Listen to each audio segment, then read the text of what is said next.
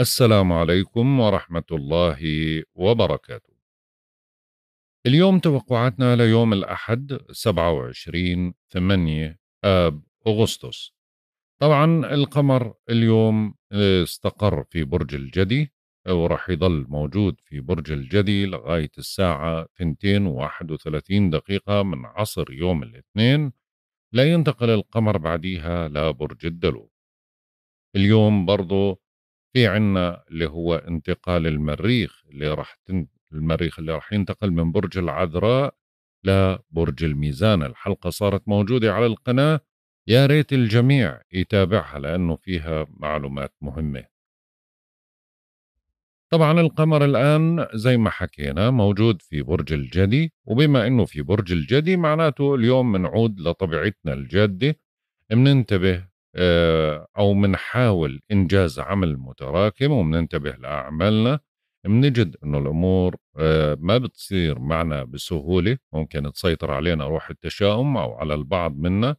علينا الاجتهاد أكثر وبوسعنا الشروع بعمل جديد أو شراء تحفة أثرية أو البدء بحمية أو الاهتمام بمسائل تتعلق بالتأمين أو شركات التأمين. بالنسبة للزوايا الفلكية طبعا عندنا اليوم ذروة زاوية بطيئة. هي زاوية التقابل السلبية اللي بين الشمس وبين زحل اللي ذكرناها في حلقة يوم 19 8 وقلنا إنها هاي مستمرة من يوم 19 8 ليوم 4 9 ذروتها اليوم 27 8 الساعة 8 و27 دقيقة صباحا. وهاي الزاوية بتخلق مصاعب وعراقيل بتحتاج منا لبذل جهد وتصميم وإرادة لتجاوزها. تجعلنا أنانيين قاسيين عنيدين. بتعرضنا لبعض الصعوبات في إنجاز مشاريعنا وإنعكاس وإنقلاب بأوضاعنا. علينا مراقبة صحتنا المهددة بالإرهاق. برضو بتدل على تراجع اهتمام حكومي ما بمؤسسات الدولة وتراجع المنتوج الفلاحي وقطاع التعدين والمناجم والصناعات الثقيلة وبصير في بعض الاضطرابات في البورصة وقلة اهتمام الحكومة بدور العجزة والمتقاعدين والفلاحين وعمال المناجم. وبرضه بهاي الفترة بصير في نوع من أنواع تضييق الخناق الأمني على الشعب وهذا الشيء ممكن إنه يحدث بعض المضاعفات أو المواجهات أو الملاسنات كما أنها بتزيد من نفوذ المحافظين والمتطرفين والمتعصبين لدى بعض الجماعات المتطرفة. بالنسبة للحدث اللي راح يصير اليوم طبعا هو انتقال المريخ لبرج الميزان اللي شاهدنا بالفترة الماضية لما تواجد المريخ في العذراء قلنا إنه هذا برج ترابي بتكثر الحرائق وبترتفع درجة الحرارة وبصير في نوع من أنواع أشياء لها علاقة بالخلل المناخي وتقريبا واشتداد واحتدام مع الزوايا اللي صارت اللي هي الأعمال العنف. الآن بده ينتقل من برج ترابي لبرج هوائي. طبعا انتقاله راح يكون الساعة واحدة و19 دقيقة بعد الظهر بعد ظهر يوم 27 8 وراح يستمر تأثيره ليوم خمسة يعني الساعة خمسة وثلاث دقائق من صباح يوم 12 10 يعني هو من 27 8 ل 12 10 راح يكون موجود في برج الميزان. في أحداث كثيرة آه، في الحلقة يا ريت المهتمين اللي حابين يعرفوا إيش تأثيرات المريخ في برج الميزان على جميع الأبراج يحضروا الحلقة. أما بالنسبة للزاوية التي تليها وهي زاوية تثليث إيجابية بين القمر وبين المشتري هاي الزاوية راح تكون ذروتها الساعة 2 و57 دقيقة عصرا بتوقيت غرينتش. بنهتم بشكل كبير بمشاكل ومتاعب الآخرين من حولنا كأنها مشاكلنا إحنا ومنحاول إنه نساعدهم قدر الإمكان يعني زي عمل إنساني.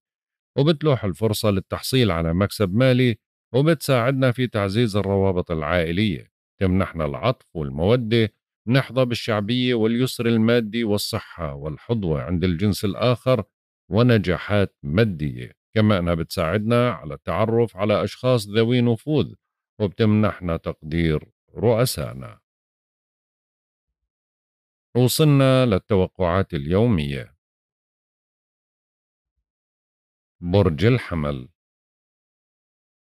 بالنسبة لمواليد برج الحمل طبعا بتتركز جهودكم نحو العمل والعلاقة مع المسؤولين بوسعكم إثبات جدارتكم والمحافظة على إنجازاتكم القائمة.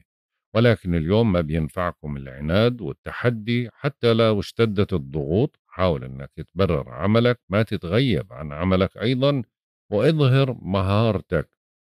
ممكن تكون الظروف معقدة شوي أو صعبة وانت طباعك وأفكارك مشتتة وعصبي نتيجة الغضب والاضطراب. عشان هيك ضبط الأعصاب مطلوب ممنوع اليوم المجازفات والمغامرات ومخالفة القوانين. برج الثور بالنسبة لمواليد برج الثور طبعا بتنشطوا في مجال السفر والاتصالات البعيدة وبتزداد رغبتكم في التقرب من أحبائكم وتعزيز العلاقة معهم. أهم شيء إنه ما تجعل أي شيء يحبطك هذا اليوم. اليوم في تطورات غنية بالفرص المناسبة وبتنحصر عواصف الأيام الأخيرة وبترتفع المعنويات وبتطمئن خواطرك نسبيا. هاي فترة مناسبة للسفر ولورشات العمل ولا العلاقات مع الأجانب وأمور إلها علاقة بالأوراق والمعاملات القانونية وفترة جيدة للامتحانات أيضا. برج الجوزاء بالنسبة لمواليد برج الجوزاء اليوم بتعيدوا تنظيم أموركم المالية المشتركة تحديدا والفرصة متاحة لمكسب بيجي من شراكة أو تعويض. ولكن صحتكم أو صحة قريب لإلكم بتكون بحاجة للرعاية أهم شيء إنك ما تتشبث بمواقفك المتصلبة وبدك تكون مرن ومبتسم بدك تناقش بليونة ودبلوماسية. اتكلم وعبر عن آرائك بجراءة وثقة وعن سابق معرفة وحاول إنك تبدأ يومك بروح رياضية أيضا. برج السرطان. بالنسبة لمواليد برج السرطان طبعا بينصب اهتمامكم حول تدعيم شراكاتكم سواء في العمل أو العاطفة يعني أجواء جيدة وممتازة على هذا المستوى. ومناسبة أيضا للقيام بعمل مشترك ولكن لا تنسى أنه القمر موجود مقابلك يعني طاقتك ضعيفة والأجواء ممكن تكون بالنسبة لك ولنفسيتك متوترة. فبدك تركز بشكل جيد وما ترتجل الأجواء فيها بعض الضغط نسبيا مسؤوليات كبيرة فهدئ من روعك وما تنفعل. برج الأسد بالنسبة لمواليد برج الأسد طبعا بيبدأ العمل بالتراكم لديكم مع هيك أنتوا عندكم قدرة على إنجاز قسم كبير منه. أهم شيء أنه ما تهملوا صحتكم. هاي فترة تعتبر فترة عمل جيدة فحاول أنك تكون أكثر انضباط وتنظيم. آه، ممكن تنشغل بأمور صحية أو رياضية فبدك تحافظ على استقرار وضعك الصحي وما ترهق نفسك بشكل كبير. ممكن تقلق بشأن أحد المعاونين أو أحد الأصدقاء وبرضه ممكن يكون في عمل جديد.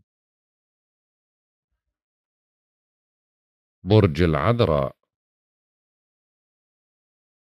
بالنسبة لمواليد برج العذراء تشتد رغبتكم في التقرب من أحبائكم وتعزيز العلاقة معهم ويعتبر هذا اليوم يوم مناسب للنشاط الفني أو نشاط بهواية ما أو إشي له علاقة بمظهرك العام. هذا اليوم بيحمل فترة آه، أو بيحمل أجواء سحرية ومفاجآت سعيدة. بتكون نظرتك للحياة متفائلة وممكن تندم على تصرفاتك الأخيرة أو تحاول ترتيب بعض الأوضاع آه، فترة بناءة وإيجابية. برج الميزان. بالنسبة لمواليد برج الميزان طبعا بتفضلوا التركيز حول شؤونكم البيتية والعائلية وبوسعكم إدخال أي تعديل مطلوب على مسكنكم. بتبدو اليوم مضطرب مرهف الحس آه، بعض الشيء وممكن تشعر ببعض الارتباك أو تغضب بسرعة. فبدك تتجنب الخصام والجدال كليا ومن المحبذ عدم إلقاء اللوم على الأحباء. في أعمال وفي انشغالات منزلية اليوم. فعشان هيك تتطلب منك تركيز وضبط الأعصاب. برج العقرب. بالنسبة لمواليد برج العقرب بتكثر عندكم الاتصالات والتنقلات اليوم وهذا اليوم يعني يعتبر من الأيام المناسبة أو الممتازة لاجتياز امتحان أو إجراء مقابلة وبتتمتعوا بسرعة بديهة وخاطر وسرعة آه، إقناع عالية جدا. باستطاعتكم مناقشة الأمور الصعبة وطرح الأفكار الجديدة. ممكن تحصلوا على فرصة جيدة تبرروا من خلالها مشاعركم ومواقفكم وبتنشطوا بالتنقلات والاتصالات أيضا. برج القوس. بالنسبة لمواليد برج القوس اليوم في فرصة إلها علاقة يعني لمكسب مالي إلها علاقة أو يعني بتيجي عن طريق عمل إضافي ومنكم أشخاص ممكن يحصلوا على هدية أو جائزة ممكن تحتاج لمساعدة جهة ما أهم إنك ما تتكبر. يعني الحركة تقريبا للقمر إيجابية فبتعمل لصالحك وبتسهل أوضاعك ولا تسمح لأي شخص بأنه يغشك وبدك تكون حريص على أموالك وممتلكاتك وتعزز وضعك المالي قدر الإمكان. برج الجدي بالنسبة لمواليد برج الجدي طبعا اليوم تبدأوا آه، فترة إيجابية بتعيد لكم نشاطكم المفقود وبوسعكم السيطرة على زمام الأمور. حاولوا إنكم تبحثوا عن أي شيء جديد اليوم آه، ابحثوا عن بعض الأمور المميزة لأنه الأجواء يعني تقريبا بنقول إيجابية. بتعيشوا فترة واعدة من الأفراح والنجاحات وتعتبر هاي فترة لازم تدخل فيها بعض التنويع لحياتك الشخصية في انفراج وفي تسوية أيضا اليوم. برج الدلو بالنسبة لمواليد برج الدلو طبعا القمر موجود في بيت المتاعب آه، بدكم تصبروا يومين يعني. فبتشعروا بالتعب بينال منكم وبتفقدوا رغبتكم في مواجهة مشاغلكم وإنجاز الكثير منها. حاولوا أنكم تخلدوا للراحة. هاي فترة محبطة وفارغة تماما من كل خبر وحسم. حاولوا إنهاء يعني هاي الفترة آه، بسلام. ممكن تواجه ضغوط وعراقيل وامتحانات صعبة أو ممكن تخسر صفقة تجارية أو تحزن لخبر إذا ما كنت منتبه بشكل جيد. فعشان هيك ما في داعي للتسرع ولا اتخاذ قرارات حاسمة. برج الحوت. بالنسبة لمواليد برج الحوت طبعا بتنشطوا اليوم اجتماعيا وبتلتقوا الأصدقاء ومنكم أشخاص ممكن يشاركوا في مناسبة سعيدة بتميلوا للتواصل مع الآخرين وممكن تنجح في حشد تأييد أو دعم لقضيتك. بتتحمس للقاء الناس وللتعارف وبتسافر أو في بعضكم ممكن يسافر أو يهتم بموضوع لها علاقة بالسفر أو تنضموا لجمعية أو تتعاونوا أو تهتموا لشؤون أقارب الشريك. هيك بنكون انتهينا من توقعاتنا لهذا اليوم. والله أعلم. يا رضا الله ورضا الوالدين.